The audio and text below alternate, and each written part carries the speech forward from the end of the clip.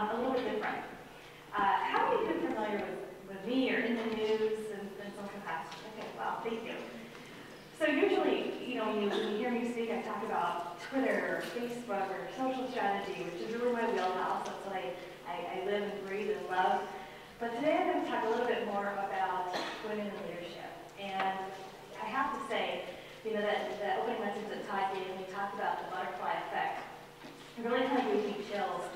Because, you know, when I wrote that article about women in leadership, I guess that was back in August or, or so, it was something that was on my heart, it was something that was really, I was really passionate about, and I put it out there, and some can probably relate to this. You put something out there, and you just hope that someone reads it, you hope that it touches somebody, and I'm just, you know, so thrilled that, that Susie reached out to me, and I walk in this room, and I just see all these amazing women and men who are here today, and it just, it really, really touched me, so thank you for being here, I really, really appreciate it.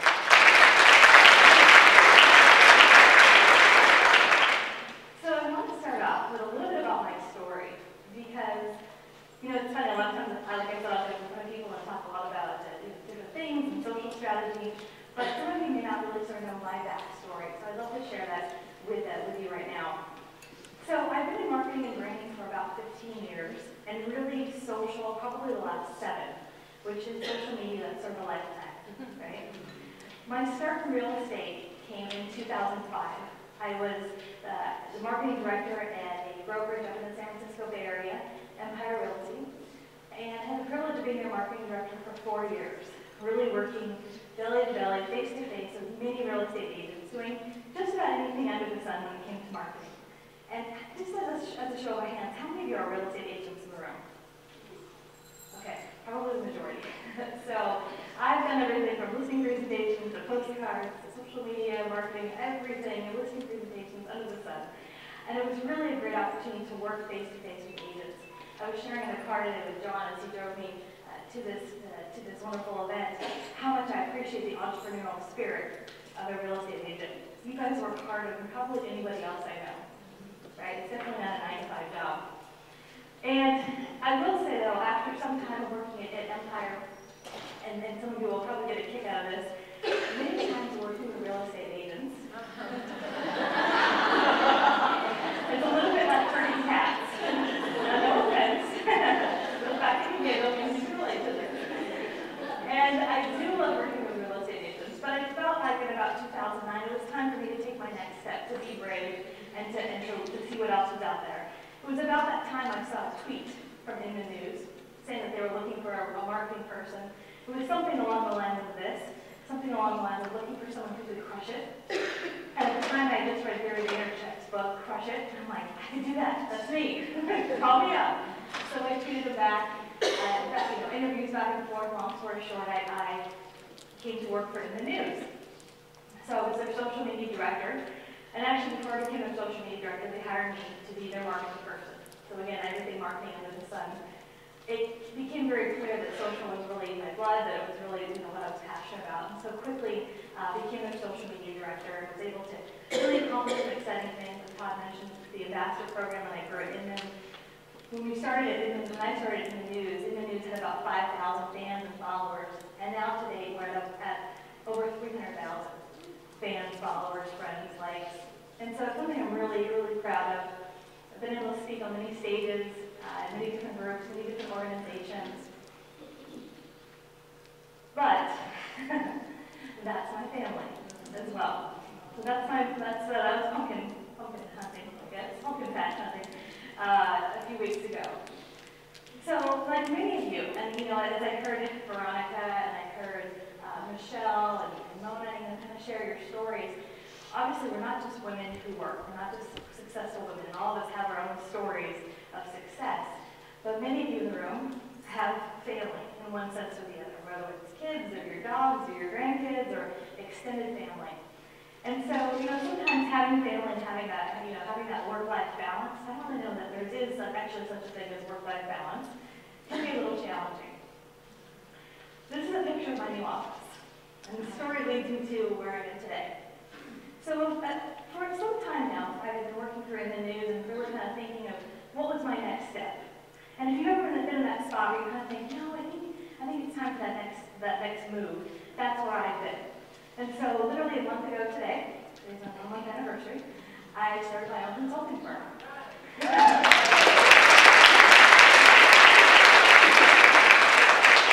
Really all that up on the stage and I'm not, I'm not feeling as confident.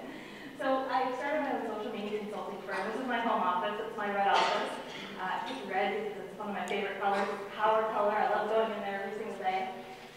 And it's really an exciting opportunity for me. And I have the best of both worlds. I'm still working with Inman News. Inman is one of my clients. And I also have been working with other clients as well. And uh, really helping small, and medium, large size businesses with their social strategy. So I share all of that. And there's my Facebook page. I share all that because I feel like a lot of us are on that same trajectory of figuring out where, where we want to go, where's our success, what's the next step, how does family fit into all of this. This is the article that I wrote back in August. And like I said, you know, the reason why I wrote this article, I had just come off of Real Estate Connect. Have any of you been at Real Estate Connect before? You? so, Real Estate Connect is really the big event that the News does every year. It's sort of like their, their Super Bowl, right? Three full days, and I, I helped co-MC and was a presenter during that event. And after that event, I can't tell you how many women came up to me and said, Kate, so great to see you you're the next generation, you know, you're such a role model. And I remember thinking, I don't really feel like a role model. and I, this is a quote from my article. I don't feel like a role model. Most days I feel like an exhausted mom of two little boys who's just trying to do the best that she can do for her family and herself each and every day. Right? And I see a lot of you nodding your head. Because I think we can all relate to that in some ways. Those are my two boys. That's Luke, two-year-old. That's Owen, five-year-old. With an iPhone, by the way. That's not their own iPhone. Let me just say that. It is quite funny to see them interact with technology. Those of you who have kids can probably relate. All my, you know, my kids know nothing no, don't know, you know, what life is like before the iPhone and the iPad. And we'll go up to the TV screen and try to, like uh, that. Don't try to understand this, sweetie. Not every screen works like the wonderful iPad does. so I do a lot of for what I do. In the last 18 months, I've traveled over 100,000 miles. Uh, I've lots of frequent flyer miles. I've spoken to over 50 cities.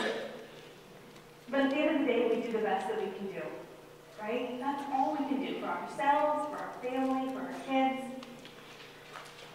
I want to share a little story here.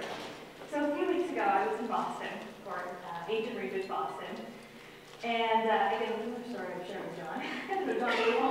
John And Boston. And now, for those of you who know me know that when I fly to a city, I usually fly in and fly out. Uh, today's a great example. Yesterday was Halloween, I came in today, to fly out right afterwards. And a lot of times it's because of my family.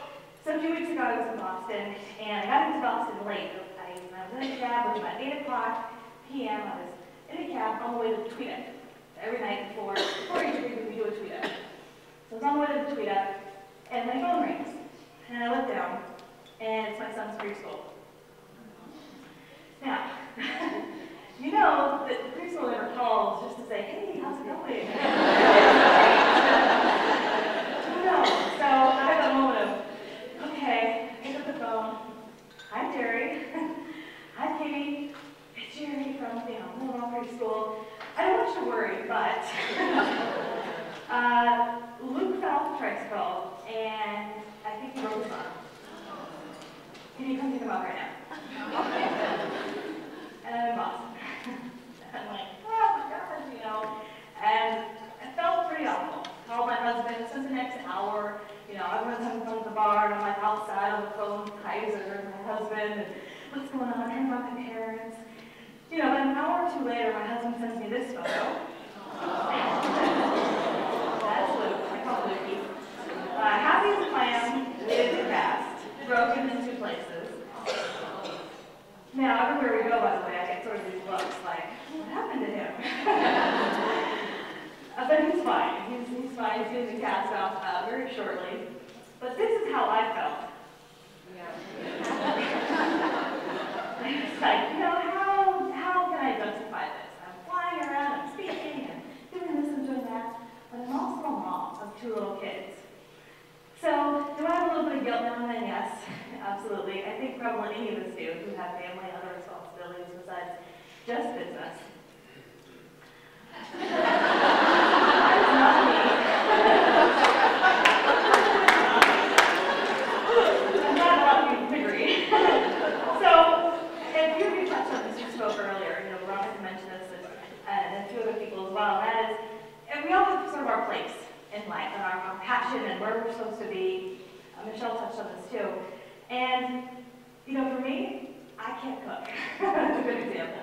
If, if I, you know, if I didn't have a husband who would cook for me, I, I don't know what I would do. So, so bless his heart, and in fact, he also takes care of my kids when I, you know, when, when we're out and about. But, you know, finding your passion, finding what you're good at and what you're not good at as well is very important.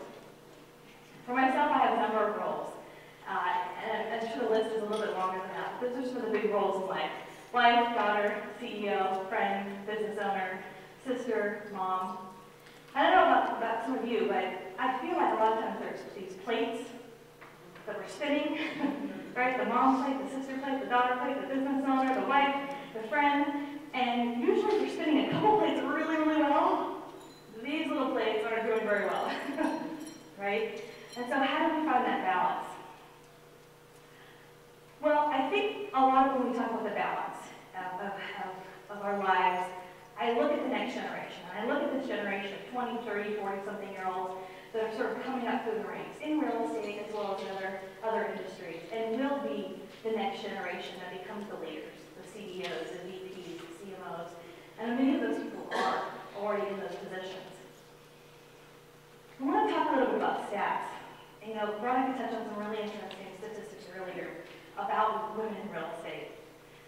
You know, in, in real estate, 55% of the uh, people in real estate are women. But why isn't that translating to more women moving up in the ranks into leadership positions? we've already touched on some great things today, and I'm going to share with, with you some more interesting statistics and really ways that I feel for myself personally that I've been able to, to sort of move up through the ranks, and I hope to inspire some of you as well. You know, when we talk about Fortune 500 companies, it's amazing the statistics. 56 of the Fortune 500 companies have zero women on their boards. 18 of the Fortune 500 companies have women CEOs, which is up from 12 the year before. You know, and I talk about this a lot of times with my husband, who's a great, a great sounding board. And he was joking with me the other night. He said, well, you know, what's the big deal? I'm like, oh, we didn't go there, right? big. And for me, and I, I think a lot of you relate to this, is that when have so few women leaders, whether it's real estate or other companies, other positions, other industries, they're just not part of the conversation. You know, think of the conversations and the things that are important to women. If there's, if there's only one or none who are on these boards or leadership positions, we're really missing out in those conversations and those key decisions. The U.S. Senate, there's some pretty staggering numbers of the U.S. Senate. There have been 39 women in the U.S. Senate since the establishment in 1789. It's just awful. As of 2012, there are 17 women senators right now. And regardless of how you stand politically, I know election day is coming up. It's something to really think about in terms of our leadership and who's representing us. Some other interesting statistics. You know, 56% of women uh, among individual, individuals holding professional jobs in the U.S., 56 are women. 56% are not 56 women. 56%. In terms of social media, 55, 55% of Twitter users are women, 55% of Facebook users are women. Kind of throwing some social media stuff there, right? Some more Fortune 500 statistics. The average return on equity increased by at least 53% when women were a part of the organization. Return on sales by 42%, return on capital investment by at least 66% when there were women involved, at least three women as directors in an organization. So why is the steel industry predominantly run at the top by men? And how can we change this? So I think one of the first things that we can do is raise our hand and say, I can do that. I want to be chosen. I, I can be on that leadership team. I would like to be the branch manager. I would like to do this.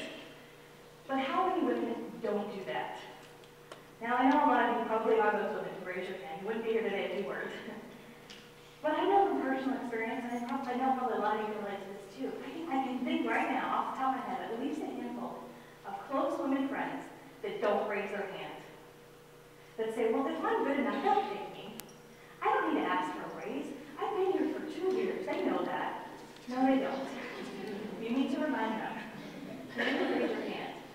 And I really think in, in not just real estate, but in so many industries, why there aren't more women at the top is because they're not raising their hand to say, I can do that. Hey, I'm here.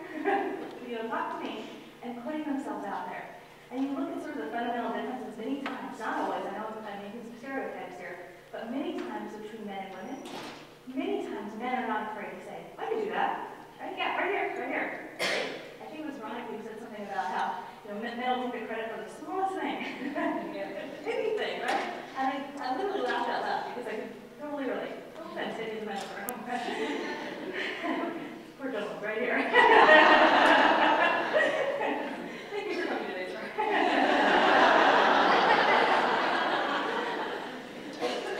The other thing I think is important, and, and we had a few references to Sheryl Sandberg earlier, and I'm going to reference her as well.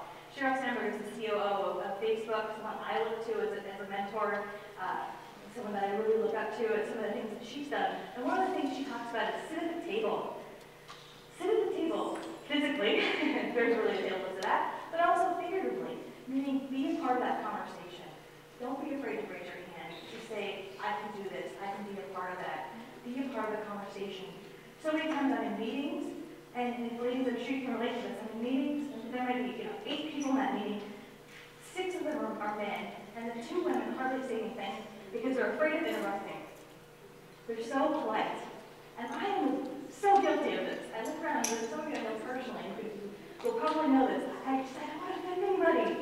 I don't want to say the wrong thing. I don't want to make somebody mad. But sitting at the table, not being afraid to, to just interrupt a little bit, right? Because sometimes the guys aren't afraid to interrupt. right? Research indicates that three or more women on corporate boards has a positive effect on a company's bottom line, as much as 42%. 42%. This is a, screenshot from Sheryl's TED Talk. If you haven't seen Sheryl Sandberg's TED Talk, Google it. That's your homework. I've probably seen it 50 times. It's, it's very motivational, very inspirational. It's a lot of what we're talking about today. The Sheryl Sandberg TED, T-E-D. If you haven't seen TED Talks, by the way, that's one other message. Have you ever watched TED Talks? I love it. Okay, if you don't watch TED Talks, we talk about feeding the soul. If you talk about feeding the soul, TED Talks are a fantastic way to do that. Sheryl talks about don't leave before you leave.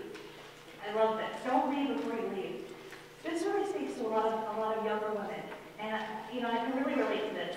There's a lot of women in their 20s and 30s who think, well, I'm I'm going to have kids one day, and so I want to have a job where it allows me this kind of flexibility, or this kind of balance, or this or that. And so many women are thinking like five years, ten years, way the line before things have even happened.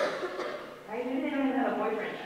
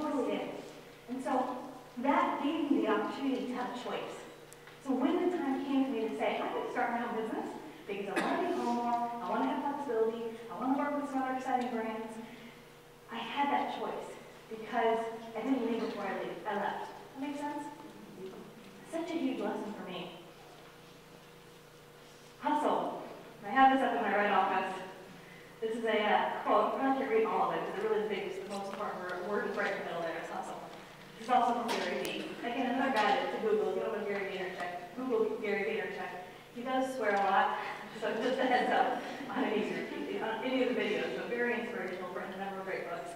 And he talks a lot about hustle. I totally believe in this. You know, and, and any in the room who've had success, I'm sure you can relate to this. Isn't it all about the hustle? Right? It's all about just making it happen. I mean, yeah, some people are lucky and you meet the right people, but really at the, at the end of the day, it's just about working really freaking hard. right? Getting up early and staying up late and, and just doing what you gotta do to get it done making the calls, that extra contact, that extra email, that extra tweet, whatever it is, to, to go above and beyond. Are you negotiating for yourself? This is another thing. It kind of goes back to raising your hand, to sitting at the table. Again, so many people I see don't negotiate for themselves. So many women do. Now, again, a lot of you probably do this because you're here. But if you're somebody who doesn't, think about it. And, and I really encourage you to negotiate for yourself, especially in the, in the workplace especially in the real estate industry. There's a, some interesting thing that kind of come, up, come out in the news lately I want to share with you. This actually just came out a couple days ago. Want equal pay. Many women still not speaking up when it comes to salary. You know, there's this whole sort of divide between what women make, what men make, and it's sort of, you know, big conversation. I really believe that many times a woman doesn't make what a man makes. Now, there's all different, you know, theories behind this. My own personal is because of where they start. A lot of women, when they get a new job, start low. And they're negotiating their salary, and they don't really negotiate. They sort of take whatever's offered, or they might ask a little bit higher, but they're many times afraid to ask, you know, for 20,000 more, or really put it out there. Whereas again, many times a man, not to be stereotypical, but a, a will many times ask for that. And so when you start off low, right, how hard is it to get to that higher level that you want to get at? And this is cut off here, but I this here. Studies have found that young women have lower salary expectations than their male peers. Economists call this the negotiating divide. And I think a lot of times it is our DNA. You know, we don't want to ruffle each other, we don't want to rock the boat, we want to keep it mad. Men tend to be overconfident and boast about their ability, and women in general tend to be a little bit more shy about it, a little bit more reserved. Again, if you start low, it's pretty hard to catch up, right? And sometimes women are our worst enemies. Wouldn't you agree? And sometimes we are. I mean, can't we just be really chatty sometimes? Look at what she's wearing. This is so-and-so. I mean, we're all guilty of it. Me, myself, and I included. I look at some of the things in the media. Marissa Mayer's in the media a lot. She's the CEO, youngest CEO, a gal who's 37 years old. In the weeks that followed her getting promoted to CEO, almost every single article I read about Marissa Mayer was the fact that she was pregnant. Right? How many male CEOs at some point had pregnant women? pregnant wives or spouses, right? Again, you don't hear about it a whole lot because the focus was on her and having a baby versus her mind, her skills, her attributes, her leadership abilities. This is a controversial newsstand post that came out, a few months ago about women breastfeeding. And you know, you might look at that in regards to how you feel about breastfeeding. It's it's it's pretty eye-opening, right? And and really, when you kind of dig into the, the undercurrent of it, it really helps to kind of foster women battling each other, you know, and going, well, I think this, and I think this, and and, and working, you know, arguing with each other versus really working together. There's a lot of stuff in the media. Here's a good example too. Hillary Clinton, again regardless of how you feel politically, I can't tell you in the last, I don't know, 10 or 12 years how many times I've seen an article about Hillary and her pantsuits, or her hair, or how she gained weight, or she lost weight, right? Who cares? Right? And there's so many things in the media. Another good example of, uh, you know, things in the media there's a great movie out. I really recommend you check this out. Miss Representation. Seen this? No, not yet. Okay, you need to Google this. Lots of homework here. Miss Representation. This is a documentary that came out not too long ago, probably a few months ago. Uh, it was produced by Jennifer Newsom, Gavin Newsom's wife. Gavin Newsom's a former uh, mayor of San Francisco. And she really talks about women in the media and if some of the stuff that I just talked about, about time magazine and Marissa Mayer, some of these things kind of resonate with you, I really encourage you to check it out. It's really incredible. Some of the things you even think about in terms of how the media you know, portrays women. And, and I really encourage men and women to, to check out this film. I made my husband watch it. you know, I, I sit down, you gotta see this. And it was very eye-opening as well. So I encourage you to check it out. It, it really says a lot, especially when we talk about women in leadership positions. The other thing that's really important, I think it's vitally important as women to surround ourselves with people who support and uplift and encourage each other. You know, it's really, really important. I'm a part of a Facebook group called the Power Women. I think some of you are, in are some of my Power Women in here. And we have a public group, and we also have a private group, but the public group has about 300 or so people in it. And it was started by my friend Deborah, Deborah Traven up in uh, the Seattle area, with the whole purpose to engage, to empower, and to engage, elevate, and empower. And what you'll see in that group, you'll see, you know, women really lifting each other up, saying, hey, did you see so-and-so on their new website? Did you see so-and-so on their new listing they just got? Did you see so-and-so, you know, they just got this promotion? And there's a lot of that in this group, which is just so important. You know, everyone wants to get recognized. But no one wants to say, hey, look at me, I just did this. We don't always want to raise our hand. So being a part of a group where, where women recognize each other, there's some really fantastic things that are discussed. And then a lot of what I talked about today, some of these articles and things in the media and, and uh, interesting statistics, this is a lot of the stuff that we talk about in that group. Now, out of that group, I've, we have sort of a little offshoot, we have a little private group, a little secret group.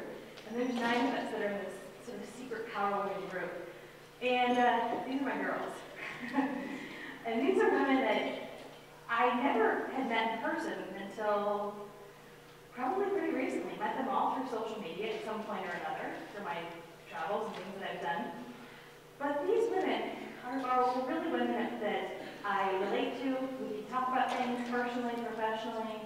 Uh, it's, it's really a group of trust. And I really encourage you, if you're not part of a, a small group of women, maybe it's your friends, maybe it's colleagues, to, to really think about organizing. And Facebook is really a great avenue for that. You know, you can create, obviously, these big Facebook pages and big, massive groups, but sometimes some of the magic happens you just get five or six or seven or eight women in a small group. And you might go, well, I could just call them. Well, I could just text them. I could just send them an email. But there's something about being in a, a kind of small private group on Facebook, especially if you're on Facebook a lot. You can just pop in there, leave a message, hey, this is what's going on, for me, I have this going on, whatever the case may be. We also use technology to connect with each other. So my small private Power Women group, we use an app called Voxer. Anybody use Voxer? It's a very cool app. So Voxer is like a walkie-talkie app. It's on the iPhone, it's on the Android. And basically the way it works is you can, you can send voice messages to one person, like I sent a voice message to Mona, someone back to me, or you can set up a group. And so with my Power Women group, we have nine women who are on this Voxer message. And so with the push of a button, it's kind of like the old Nextel, beep beep, Beep. you put the and you go, hey everybody, whatever, how's it going? Hope everyone's doing great, what's going on with everybody today? And there's sort this whole string of conversations that happen. It's literally little voice messages back and forth. Again, you might voicemail, I just call them. Yes, we do have a phone but with Voxer, it's an easy way to just sort of catch up on what's going on. Some little photos, private, and there's something about just hearing someone's voice. You know, in this day and age of technology, wouldn't you agree? There's just something about hearing someone's voice and, and leaving a quick message. So, great little technology to check out if you haven't checked it already. Do we really go for what we want? I kind of touched on this in a lot of things I talked about. Many times we don't. And for one reason or the other. Do you? Something to think about, right? I have another story to share. So, anybody, anybody a fan of Oprah? Yeah. if you're not, then you will be after this story. So, I'm a really big Oprah fan. I'm sort of like a super fan. I'm not a stalker or anything, but I'm a big fan of Oprah. okay. And I've been trying, you know, back when Oprah had her show, I've been trying to get tickets to the Oprah show literally for 10 years. Emailing and, you know, submitting requests and all that, all that kind of stuff. And I remember chatting with a former colleague of mine, and about sort of my little Oprah goal, my bucket list. And one day I'm going to go to the Oprah show. And she said, well, hey, why don't you put your money where your mouth is and start a social media campaign around it? I was like, oh, I don't know about that. she said, no, really, you know, think about it. Talk about social media all the time with how Twitter, Facebook, and video.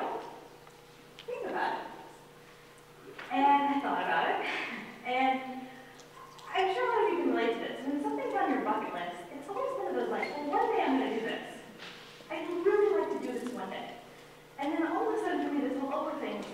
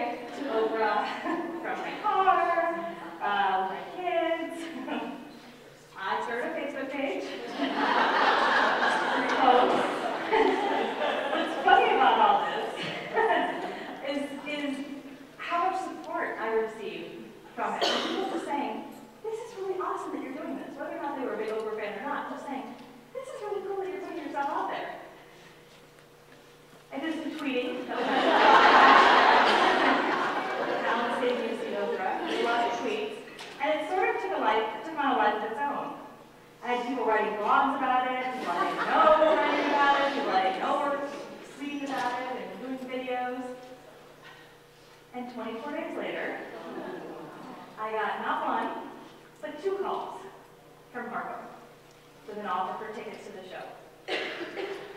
So I share that story because, like I said, you know, putting yourself out there and saying, I'm going to go for this, I'm going to do this, I'm going to stop saying, well, one day I'm going to do this, and really just make it happen. And for me, that was my Oprah moment. And I think now I hit some of the other things on my bucket list. I'm like, okay, what's next? Yeah. What's next? Because life is short, right? You think about everything that's happening on the East Coast right now, and all these people who are out of power, and their homes are destroyed, and oh my gosh, life is short, right? We're not promised anything beyond right now, right here.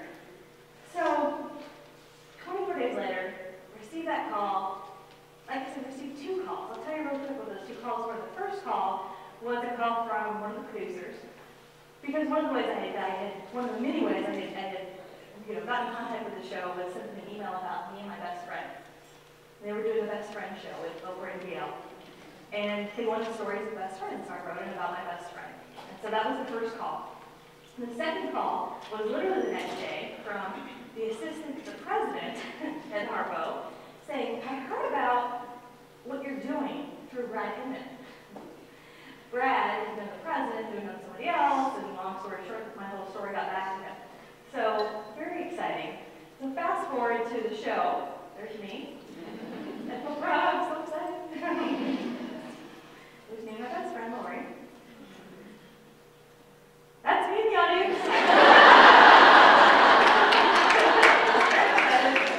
yes, it's all my TBR. Here I am. There's Gayle. It was really awesome to be a part of part of that, especially with Oprah Winfrey. And you know, say what you will, people like her, people don't like her, but what she's done for women in leadership is pretty amazing. You know.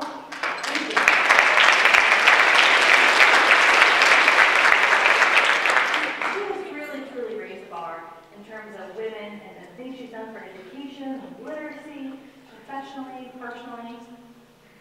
Now, that's how my story ends. So many of you know you, Oprah, sort of known for giving away things, right? So it's like icing on the cake. I'm in the audience with the Oprah audience, and she announces, "You're all getting up!" Blah blah blah blah blah blah. And none of us hear anything. Because all you hear is screaming women or screaming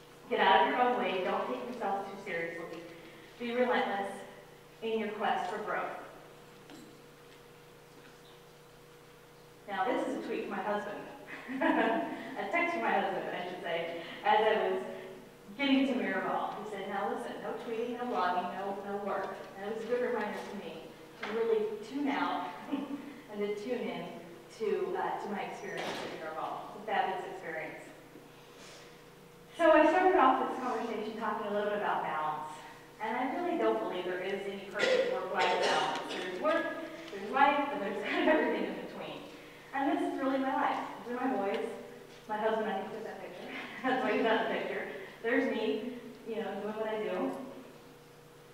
So I ask you, what's on your bucket list? I know we all have one, right? Because got to do something.